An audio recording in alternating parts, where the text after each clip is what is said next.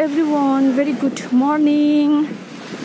Right now i'm here at pattaya bridge. And you can see the view? It's beautiful today is sunday.